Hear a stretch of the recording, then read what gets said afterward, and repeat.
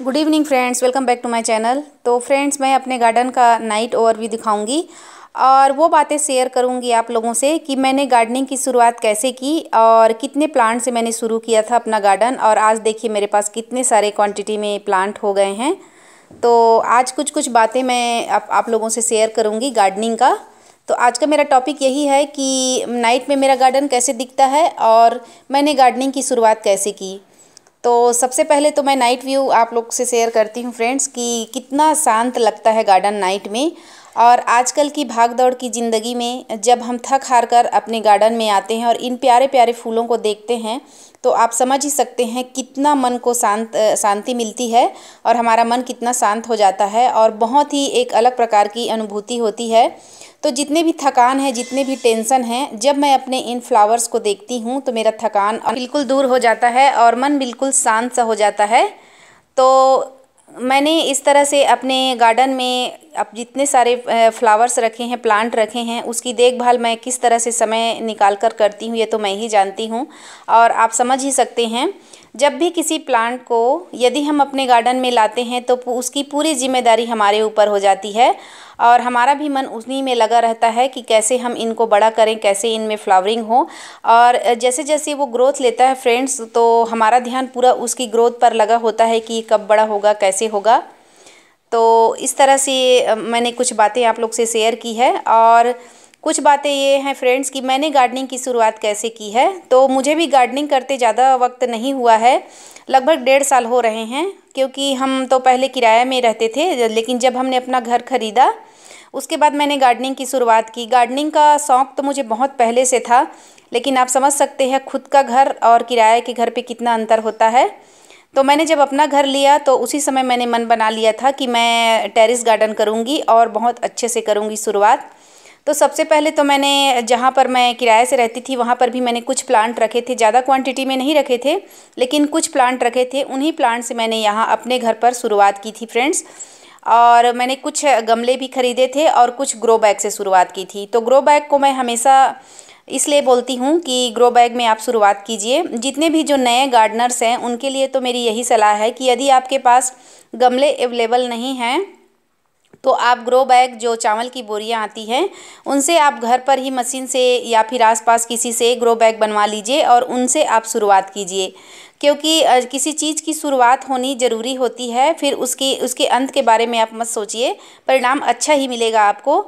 यदि आप शुरुआत करेंगे और आपका इंटरेस्ट बढ़ेगा तो आगे आपके पास पॉट वगैरह भी आप लेने के लिए इच्छुक होंगे। तो मैंने भी इसी तरह से कुछ पॉट और ग्रो बैग से मैंने शुरुआत की थी। फिर धीरे धीरे करते करते देखिए मेरे पास कितने सारे पॉट भी हो गए हैं और कितने सारे प्लांट हो गए हैं। तो अपने शौक़ को पूरा करना भी है हमें और बजट का भी ख्याल करना है। तो एक साथ सब कुछ तो नहीं हो पाता है फ्रेंड्स, क्योंकि प्लांट भी महँगे होते हैं और पॉट भी महँगे होते हैं। तो हम यदि सोचें कि हम पॉट भी ख़रीद लें और प्लांट भी ले लें एक साथ तो ऐसा तो नहीं हो पाता है। पैसे की कमी हमेशा हो ही जाती है, चाहे कोई भी रहे, ऐसा मुझे लगता है। और धीरे धीरे करके यदि आप पॉट लेते जाएँगे एक एक करके एक एक करके तो कहते हैं ना फ्रेंड्स कि बूंद बूंद में घड़ा भरता है। इसी तरह से यदि आप एक एक पॉट एक एक पॉट करके लेते जाएँगे तो आपके पास बहुत सारे पॉट कलेक्ट हो जाएँगे और आपको पता भी नहीं चलेगा कि आपने इतने सारे गमले कैसे खरीद लिए इतने सारे प्लांट कैसे ले लिए। एक साथ लेने में लगता है कि इतने सारे पैसे हमारे पास कैसे आएँगे, क्योंकि फ्रेंड्स नर्सरी में भी बहुत महँगे हो गए हैं प्लांट तो हमेशा मैं जब भी गार्डनिंग की बात करती हूँ तो हमेशा मैं ये बात ज़रूर आप लोग से शेयर करती हूँ कि आप लोग कटिंग से प्लांट लगाइए। हमेशा मैं इस चीज़ को प्राथमिकता देती हूँ कि कटिंग से आप अपने घर पर ही बहुत सारे प्लांट तैयार कीजिए। हालाँकि आपके पास एक अलग अलग वैरायटी के प्लांट तो नहीं होंगे, लेकिन एक ही प्लांट आपके पास बहुत दिनों तक चलता रहेगा, सालों साल आपके पास बरकरार रहेगा आपका प्लांट और प्लांट की संख्या भी बढ़ेगी और आपका गार्डन भी फूलों से भरा होगा। ऐसा नहीं है कि एक ही वैरायटी का प्लांट है और उसी उसी को मैंने लगा लिया है तो आप ऐसा बिल्कुल मत सोचिए। फूल तो बहुत ही सुंदर होते हैं, चाहे वो एक ही वैरायटी के हो, चाहे बहुत सारे वैरायटी के हो। तो आप धीरे धीरे इसी तरह से आप गार्डनिंग की शुरुआत कीजिए। ऐसे प्लांट का चुनाव कीजिए जो आपको आसपास के पड़ोसियों से मिल जाए आसानी से और उनकी कटिंग जो इजी से ग्रो हो जाती है, ऐसे प्लांट का चुनाव कीजिए। जैसे कोलियस है हिबिस्कस है, देसी हिबिस्कस की बहुत सारी वैरायटी आपको मिल जाएगी, चाहे गाँव हो, चाहे शहर हो, सदाबहार है।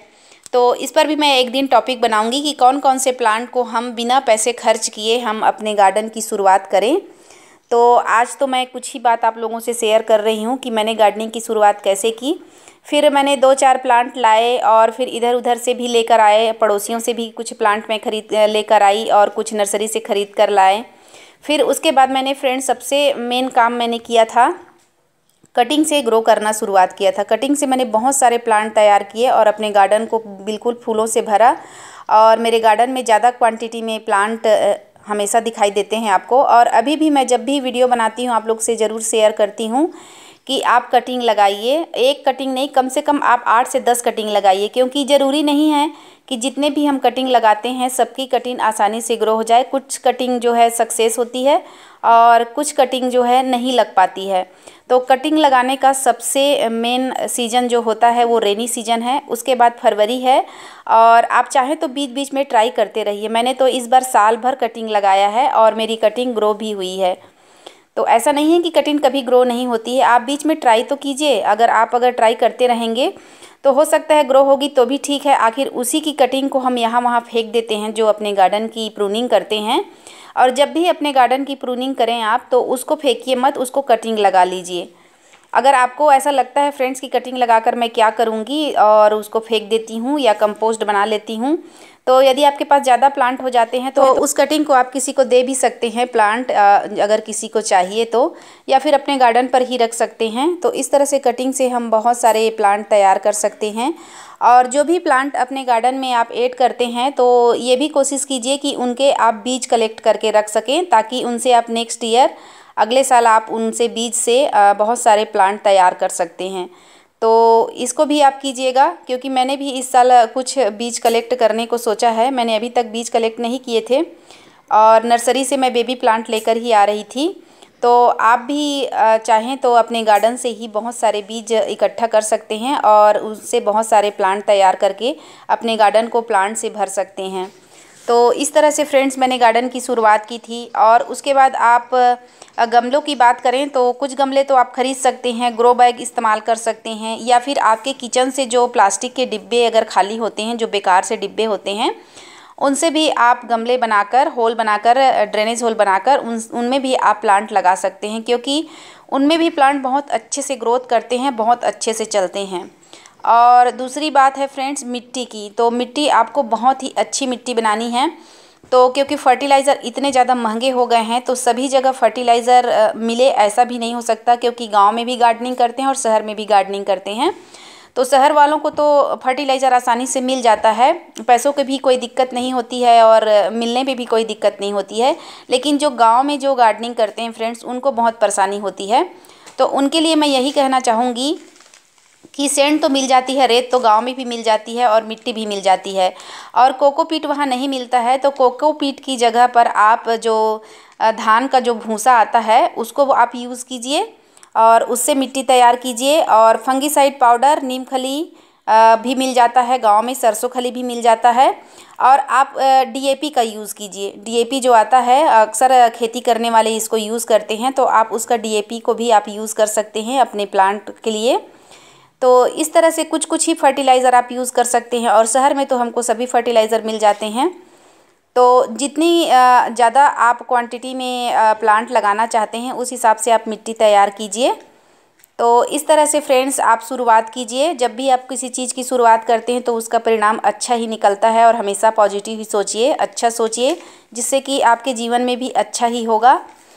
तो मैंने कुछ बातें अपने गार्डनिंग की आप लोगों से शेयर की है। कुछ बातें रह गई है जो मैं किसी और दिन आप लोग से शेयर करूँगी। तो देखिए कितने सुंदर सुंदर प्यारे प्यारे फूल जब किसी प्लांट को हम लगाते हैं और उनमें जब फ्लावरिंग होती है तो मन को कितनी खुशी होती है।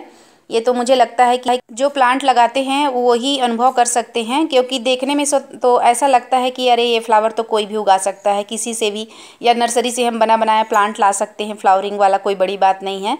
लेकिन जो खुद बीज से ग्रो करते हैं और कटिंग से लगाते हैं और उनकी देखभाल करने के बाद जो फ्लावर्स हम पाते हैं फ्रेंड्स उनसे कितनी खुशी होती है? ये मुझे बहुत खुशी होती है और मुझे लगता है कि हर गार्डनर्स को खुशी होती होगी। तो इस तरह से देखिए मेरे गार्डन का आप लोगों ने नाइट व्यू भी देखा और मेरी कुछ बातें भी आप लोगों ने सुनी। तो यदि आज का वीडियो आप लोगों को अच्छा लगे फ्रेंड्स तो मेरे चैनल को लाइक ज़रूर कीजिएगा, सब्सक्राइब कीजिएगा और जो मेरे नए फ्रेंड्स हैं, मेरे चैनल को देखते ज़रूर हैं, लेकिन मेरे चैनल को सब्सक्राइब नहीं करते तो प्लीज़ मेरे चैनल को सब्सक्राइब ज़रूर कीजिएगा, बेल आइकन को प्रेस कीजिएगा, ताकि आने वाली वीडियो की नोटिफिकेशन मिल सके। और अपने गार्डन में जो प्लांट यदि आप लगाते हैं, उनमें आप बीज कलेक्ट करने को ज़रूर सोचिएगा, क्योंकि बीज से आपके पास बहुत सारे प्लांट तैयार हो जाएँगे। और मैं जो विंटर प्लांट के सीड कलेक्ट करूँगी, उसका वीडियो आप लोग से ज़रूर शेयर करूँगी कि मैंने कौन कौन से बीज इस समय कलेक्ट किए हैं। तो आप समझ ही सकते हैं से फ्रेंड्स डेढ़ साल में मैंने इतने सारे प्लांट अपने गार्डन में ऐड भी किए हैं, कुछ बहुत सारे प्लांट कटिंग से लगाए भी हैं। और मैं किस तरह से इनकी देखभाल करती हूँ, आप तो समझ ही सकते हैं क्योंकि मैं वर्किंग वूमेन हूँ हाउस वाइफ नहीं हूँ मैं तो मुझे घर को भी देखना पड़ता है, बाहर भी देखना पड़ता है, अपने बच्चों को भी देखना पड़ता है, मेरे दो बच्चे हैं, दो बेटे हैं तो फिर भी मैं समय निकाल कर इनको अपना समय देती हूँ तो समय तो सभी के पास होता है, बस आपको मैनेजमेंट करना पड़ता है कि किस तरह से हम टाइम निकालें और दूसरी बात यह है फ्रेंड्स कि लगन भी होनी चाहिए। जिस चीज़ में आपको इंटरेस्ट है, उसको आप, मुझे लगता है कि ज़रूर कर सकते हैं। आपके लिए पास ज़रूर समय निकल सकता है। तो इस तरह से आप अपने गार्डन की देखभाल कीजिए और अपने गार्डन को फूलों से महकाइए और अपने गार्डनिंग का शौक़ भी पूरा कर सकते हैं। तो यही मैं आप लोग से शेयर करना चाह रही थी और गार्डनिंग की शुरुआत, जितने भी मेरे नए व्यूअर्स हैं, उनसे मेरा रिक्वेस्ट है कि गार्डनिंग की शुरुआत ज़रूर कीजिए। यदि आपको इंटरेस्ट है क्योंकि इनसे हमको ऑक्सीजन भी मिलेगा और हमारा घर जो है खूबसूरत भी लगेगा, बहुत सुंदर लगेगा।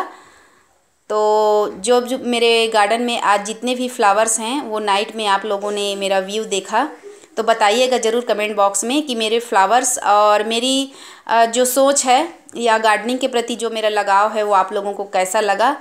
तो देखिए कैलेंचू के प्लांट कितने खूबसूरत लग रहे हैं, बहुत ही सुंदर सुंदर कैलेंचू के प्लांट आपको मिल जाएँगे। और विंटर सीज़न में तो मिलते ही हैं बहुत सारे और इनकी कटिंग भी आप बहुत सारे लगा सकते हैं। और अपने गार्डन इस तरह से कैलेंचू के प्लांट मैंने आप लोगों ने देखा है। मैंने बहुत सारे कटिंग से भी तैयार किए हैं। तो इन प्यारे प्यारे फूलों को देखकर किसका मन लालच नहीं करता होगा फ्रेंड्स हर किसी को लगता होगा कि काश मैं भी गार्डनिंग करती या करता और मेरे गार्डन में भी इतने प्यारे प्यारे से फूल होते। तो थोड़ी सी मेहनत तो हर चीज़ में करनी पड़ती है। हमको भूख लगती है तो हमें खाना ही पड़ता है वो भी अपने हाथों से खाना पड़ता है। तभी हमारी भूख मिटती है। तो उसी तरह फ्रेंड्स, यदि गार्डनिंग का शौक़ है तो थोड़ी सी मेहनत तो ज़रूर करनी ही पड़ेगी। और थोड़ी सी मेहनत के बाद आप देखेंगे कि आपके गार्डन में कितने सारे फ्लावर्स खिलेंगे और इन फूलों को देखकर आपकी थकान भी बिल्कुल दूर हो जाएगी और आपका घर भी बहुत खूबसूरत लगेगा और आपका मन भी लगेगा फूलों में। और हम यदि अपने प्लांट को प्यार देते हैं फ्रेंड्स तो प्लांट से भी हमको बहुत सारा प्यार मिलता है। और मुझे लगता है ये महसूस किया जा सकता है, दिखाया तो नहीं जा सकता किसी को। तो इसको महसूस करने की ज़रूरत होती है। तो इस तरह से देखिए फ्रेंड्स, मेरे गार्डन का व्यू लास्ट है। और मैंने जितने भी फ्लावर्स खिले थे, आप लोग से शेयर भी किया है। और ये कुछ हैंगिंग पॉट तो हैंगिंग पॉट में देखिए पिटूनिया कितना खूबसूरत लग रहा है, बहुत ही सुंदर। तो इस तरह से तो हैंगिंग पॉट को भी ज़रूरी नहीं है कि आप ख़रीद कर ही लगाएँ। आप घर घर पर भी जो टोकरियाँ होती है जो किचन में यूज़ करते हैं टोकरियाँ, उनसे भी आप हैंगिंग पॉट बना सकते हैं और प्लांट लगा सकते हैं। तो मैं किसी दिन इसको भी शेयर करूँगी आप लोगों से कि कैसे हम टोकरी से हैंगिंग प्लांट बना सकते हैं। तो इन्हीं प्यारे प्यारे फूलों के साथ फ्रेंड्स आप देखिए कितने खूबसूरत लग रहे हैं पिटूनिया के प्लांट तो ओके फ्रेंड्स गुड नाइट फिर मिलती हूँ. Bye bye